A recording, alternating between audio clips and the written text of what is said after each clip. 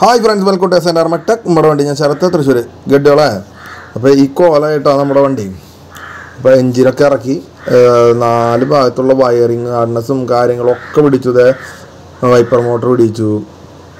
Net ബോൾട്ടുകൾ അവിടെ കൂടി കാണുന്നതൊക്കെ നമ്മൾ പിടിച്ചു. കാരണം ആ ഭാഗത്ത് വരെ പെയിന്റ് എത്തണം എന്നുള്ള രീതിയിലുള്ള അഴിക്കിനാണ് അഴിച്ചിട്ടുള്ളത്. അപ്പോൾ ഇനിയും ബ്രേക്ക് പൈപ്പ് ചിലപ്പോൾ ഒരു പക്ഷേ ഇത് അഴിക്കാൻ കിട്ടുന്നില്ല കേട്ടോ. സൈലൻസർ അഴിക്കാൻ കിട്ടുന്നില്ല. അതിനി കട്ട് ചെയ്തെടുക്കാം. ബോൾട്ട്. ഇനി ബ്രേക്ക് പൈപ്പ് ചിലപ്പോൾ ഞാൻ അവിടെ ഒരു പെയിന്റിങ്ങിന്റെ അവിടെ കൊണ്ടിട്ട് അഴിക്കും. കാരണം ഇനിയിപ്പോൾ ഈ വണ്ടി നേരെ ഇവിടെ എടുത്തിട്ട് ഡയറക്റ്റ് പെയിന്റിങ്ങിനല്ല പോണത്. നമ്മൾ എ ടു സെഡ് ഭാഗങ്ങൾ ഫുള്ള് ഫുൾ ഒരു ഫുൾ വാഷിനാണ് പോണത്.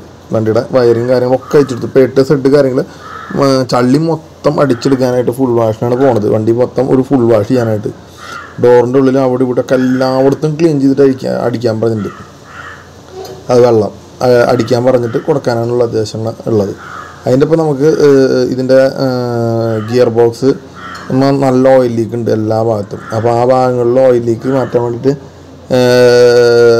ഓയിൽ ലീക്ക് മൊത്തം ഓയിൽ പുറത്ത് പുറത്ത് പോയിട്ടുണ്ടായിരുന്നു. അപ്പോൾ സീലുകളൊക്കെ മാറ്റി നമ്മൾ മാറ്റും എന്നാലും നമുക്ക് ഇവിടെ ക്ലീൻ ചെയ്യാൻ കുറച്ച് ബുദ്ധിമുട്ടാണ്. അത് കാരണം ഗിയർ ബോക്സും വണ്ടിയിൽ കയറ്റിയിട്ട് കൊണ്ടുപോകുന്നുണ്ട്. അപ്പോൾ എൻജിൻ എടുത്തു കഴിഞ്ഞാൽ എൻജിൻ റൂമിന്റെ അവസ്ഥയാണ് ഈ കാണുന്നത്. ഗിയർ ബോക്സ് നമ്മൾ എടുത്തിട്ടുണ്ട് കേട്ടോ വണ്ടിയുടെ ഉള്ളിൽ അതാണ് ഗിയർ ബോക്സ്. അപ്പോൾ ഇത് നമ്മളത് ക്ലീൻ ചെയ്യാറുണ്ട് എൻജിൻ എന്താ പറയുക ഒരു ഒരു ഒരു നേരം ഇരുന്നാലും അത് വൃത്തിയാവില്ല. അത് ഡീസൽ വാഷ് ചെയ്ത് കഴിഞ്ഞാൽ പെട്ടെന്ന് ക്ലിയർ ആവും. ഇതാണ്ടല്ലേ ഈ ഇതിന്റെ ഉള്ളിലൊക്കെ ചളികൾ ചളിയും കാര്യങ്ങളൊക്കെ ഉണ്ട്. അതൊക്കെ. To Z